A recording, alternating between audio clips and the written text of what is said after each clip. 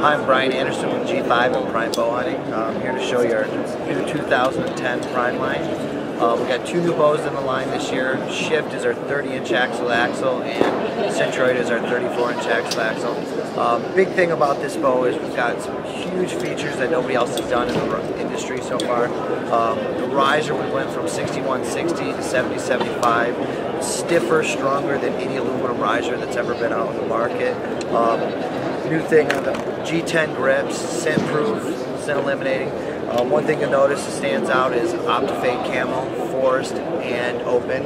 Um, biggest thing on the line is our new parallel cam system. It's actually split the cam into two separate sides to equal the pressure on both sides to eliminate pretty much 99% of all cam lean. Um, what this does is produces an easier bow to shoot, easier bow to set up. Long distance means uh, better accuracy, more consistent grouping, um, just an all-around great bow. We also have a uh, flexible cable guard system. As you draw, this guard, this guard actually comes into the bow to relieve pressure off the wheels.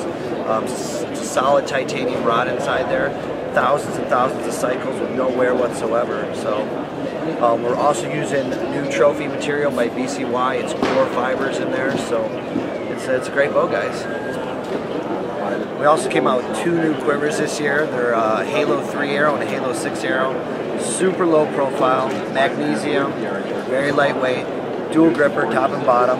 Um, nice feature on them is as the bow is on, uh, the quiver's on your bow, you can actually pull the arrow directly out of the back of the quiver so you don't have to reach around and make any awkward movements in the woods.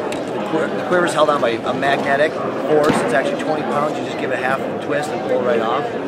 Um, six arrow. We also have a three arrow. Come with multiple camo options. It's pretty pretty awesome gig, guys.